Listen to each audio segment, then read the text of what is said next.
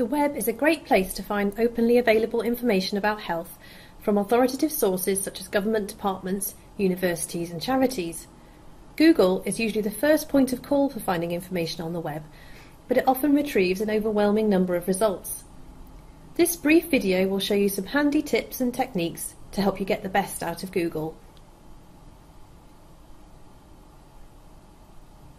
Let's start with a basic search for some information on dementia. As you can see, entering just one term into the search box has found over 37 million results. Far too many to look through, and it may be that the most relevant results are not displaying near the top. Let's try adding another term to focus the search. Google will now only retrieve results which include both these terms. As you can see, this has reduced the number of results. So the more keywords you add, the fewer results you get.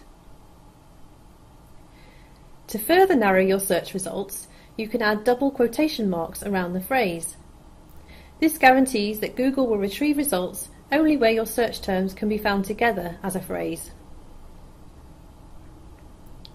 And to focus your results even further, you can look for resources which only contain your search terms in the title.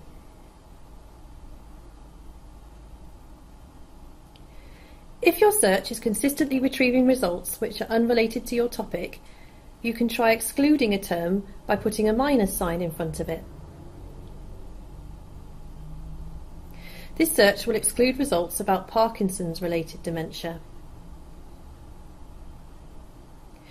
Here are some other commands you can use to narrow your results.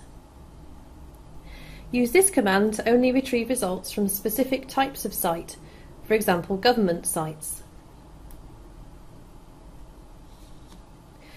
Here are some examples of other domains which are more likely to offer authoritative information.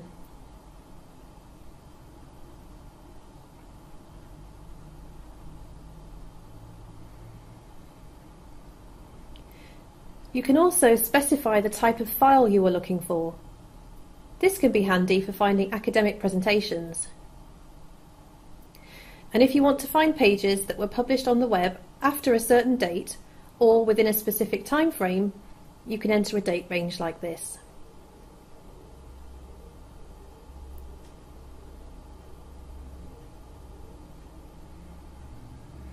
When you need to conduct a more thorough or exhaustive search for information on a topic, it's important to include a wide range of search terms to make sure that you haven't accidentally excluded any results.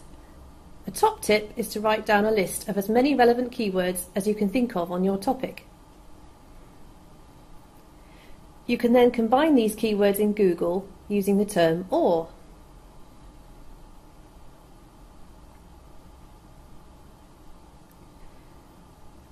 You can also combine phrases in this way.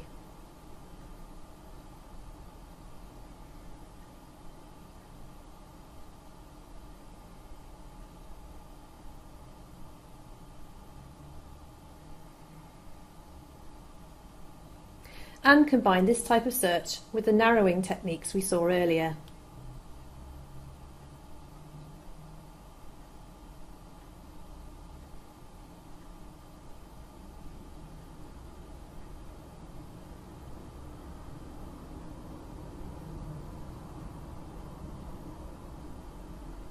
It's well hidden, but Google do also offer an advanced search, which can help you build a focused search without the need to remember all these commands.